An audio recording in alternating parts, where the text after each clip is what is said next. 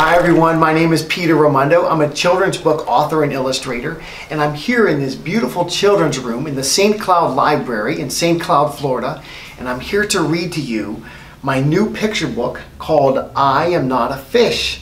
This is published by Dial Books for Young Readers, which is an imprint of Penguin Random House. And so here we go with I Am Not a Fish.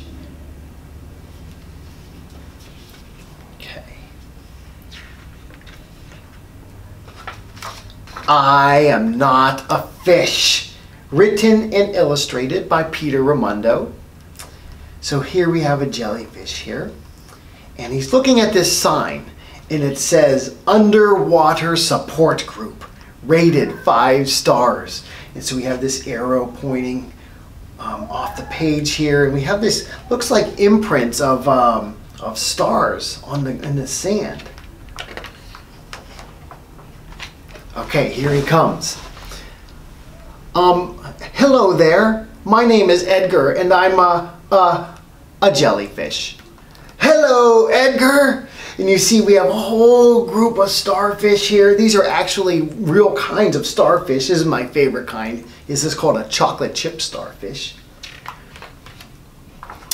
Edgar says, of course, jellyfish aren't actually fish at all. It's kind of confusing.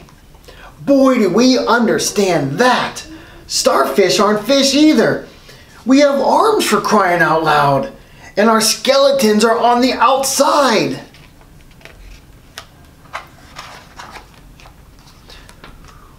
Who came up with these silly names anyway? He asked. So Edgar says, Well, I think it all started when those pesky humans dove in and started labeling everything. Look at all these labels we have here. We have these fish, it's cod. Even the bubbles have labels. That's kelp, an anemone. That's a fin there is a shark. And the diver's pointing at this giant squid here. Literally, it's a sign that says giant squid. The thing is, most creatures ended up with fancy names all their own, like a narwhal, or nautilus, or dolphin.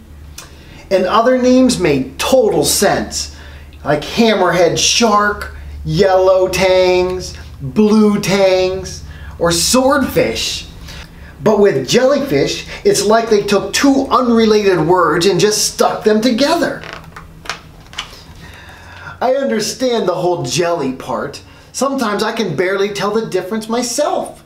We have strawberry jelly, grape jelly, and sea jelly. But jellyfish, this I never understood. I look more like a plastic bag than a fish.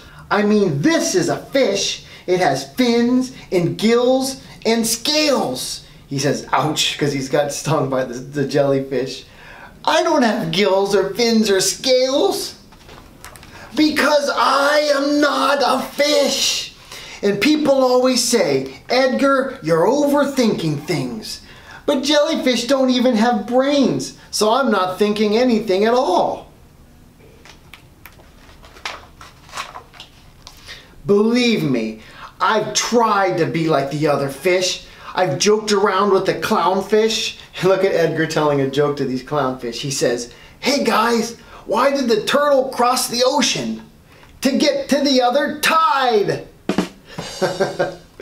but I don't have a funny bone in my body.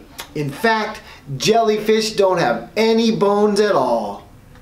I've hung out with the angelfish, but they don't even know what a sand angel is. There he is making the sand angel. These are actually angelfish. Oh boy. And good luck playing tag when your hands are stinging tentacles. Hey there, Mr. Pufferfish. Tag, you're it. so he blows up. Oh, this one time, I even got packed in with the sardines. Whoosh, he swooped up into the net. Okay, look, he's getting pulled up. And Edgar actually feels good about this. He says, but right when I was finally fitting in, I was tossed aside. And there's the fisherman says, Hey, that's not a fish. throw it back. So Edgar, Edgar's trying to just like smile nicely. No! Splash! I finally got to the point where I had to stop and float for a while. Oh, he's kind of exhausted. He says, "You guys go ahead. I'll, I'll catch up later."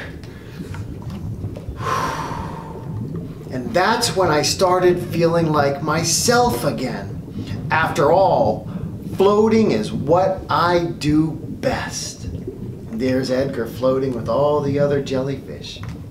These are moon jellyfish, by the way. You know, just talking to this group has helped me realize something. People can call me whatever they want.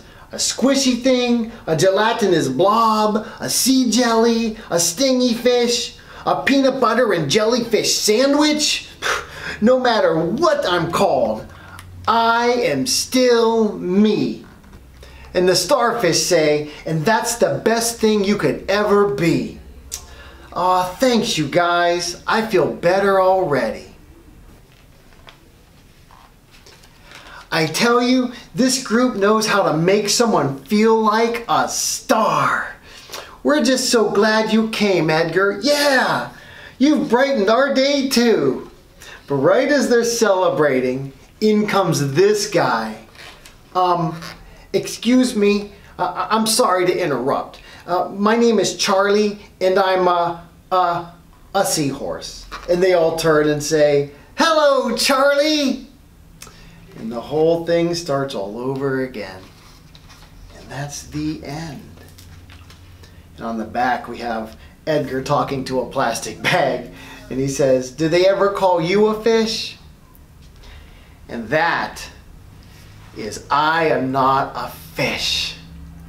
Thank you so much. I hope you enjoyed this reading. And Remember, always be yourself. See you soon.